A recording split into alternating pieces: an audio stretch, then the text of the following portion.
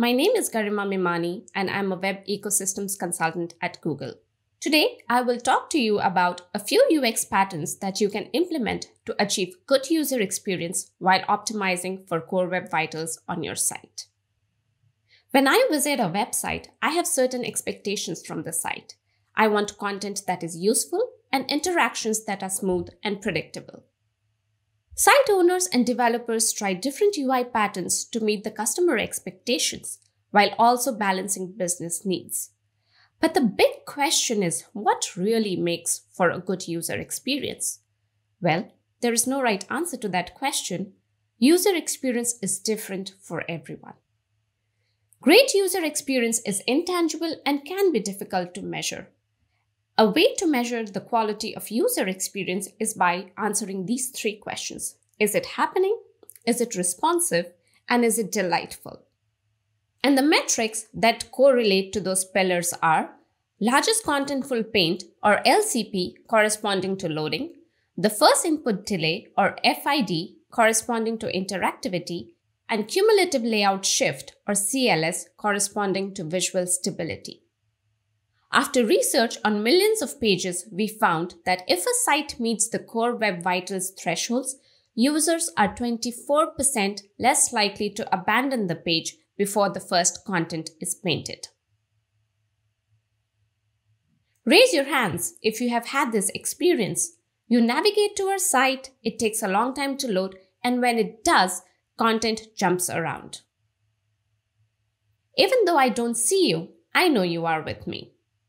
Such experiences are disruptive to the user, and while they may endure it a few times, but if it keeps repeating, the user may not come back to your site. So let's see how this experience unfolds. A user navigates to your site. The static content is rendered first, no layout shifts here.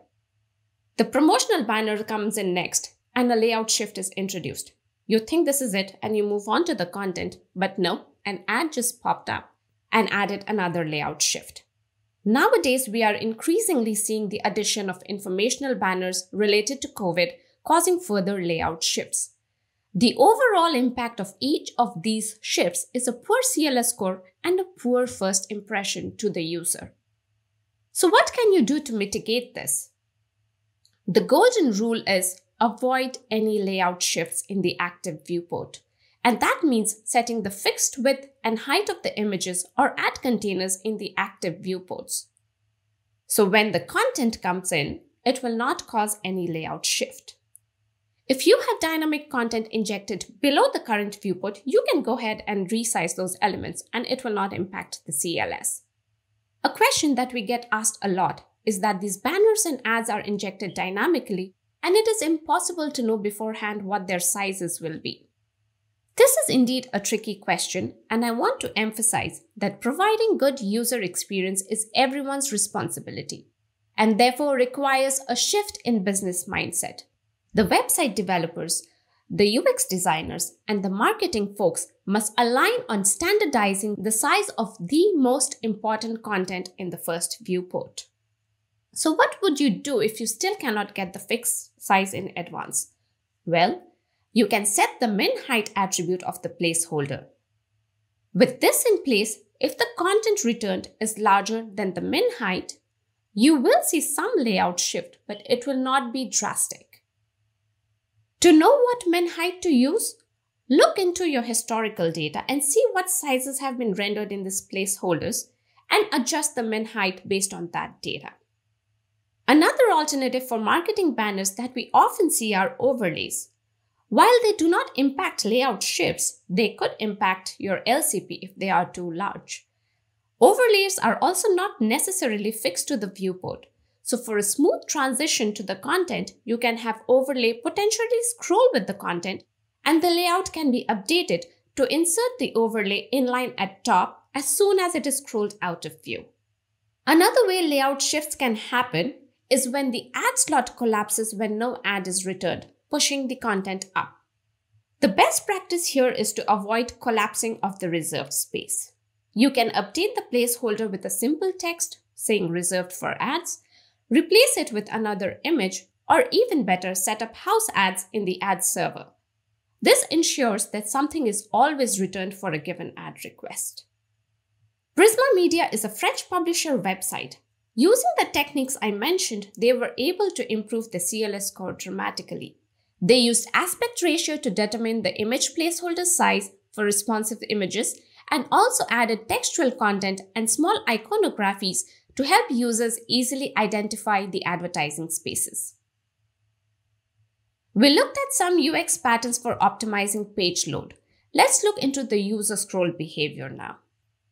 User scroll or infinite scrolls or scrolls using the load more button by itself do not initiate any layout shifts. The issue arises when you do not have placeholders for the new content that is being injected. So the experience may look like this. The user scrolls down. The footer becomes visible above the fold. New content is injected, causing the footer to get pushed down. These individual shifts in infinite scrolls can lead up to a poor user experience and a poor CLS score. So how can we mitigate this shift? 1. Reserve enough spaces for the content before the user scrolls to that part of the page. You can use skeletal UI placeholders for it. 2. Remove the footer from the bottom of the page, especially for infinite scrolls. And 3. Prefetch data and images for below the fold content so that by the time the user scrolls that far, it is already there. Now let's see how the page interacts on button click. When the user interacts with your page, they expect the response to be instant. Users do not want to wait and keep guessing that did this click actually work. And if the response to the click results in a layout shift, it adds to an already poor experience. These interactions are very critical to your business because if your user has an intent to convert, your inability to provide timely feedback to the user click could result in losing them. So if you know beforehand that a given interaction will take time to respond and will cause some layout change, provide instant feedback to the user that you are processing the request. Put placeholders for the changed layout so that when the content actually comes in, it does not introduce any further layout shifts. It is important to note here that you have 500 milliseconds from the user input to make any layout change and that will not affect the CLS score. If you are server rendering the HTML, consider making the initial state render with all buttons and controls disabled if those buttons and controls will require JavaScript to work. When the JavaScript finishes downloading and executing, remove the disabled attribute and add the necessary event listeners to make it do something. If the user sees that the button is disabled while the page is loading, they will be less likely to interact with it, and this could help you with your FID metric. Apart from these UX patterns, there is so much more that you can do to optimize for the core Web Vital metrics. NDTV is the largest media company in India. They prioritized the largest content block by delaying third party requests and saw an increased engagement and consumption of content directly proportional to increased revenue for their website. Yahoo Japan is the largest site in Japan and has been working on optimizing for core web vital metrics through cross functional efforts in their organizations. A direct result of these efforts in the news site resulted in strong return on investment and some great improvements in their business metrics. So before I go away, if you took three things from this talk, it would be one, do not insert content above existing content unless it is in response to a user interaction. Provide a smooth and predictable experience to the user. Two, if content needs to shift in response to a user interaction, do so immediately. Do not wait for the network request to finish. For requests that may take more than 500 milliseconds to complete, use placeholders to reserve space as the content loads. And three, for all interactive elements on the page, ensure that if it looks interactive, it actually is interactive. If you use server-side rendering, consider rendering your pages in a loading or disabled state and then uploading them to look interactive only after hydration. Thank you and enjoy the rest of your sessions today.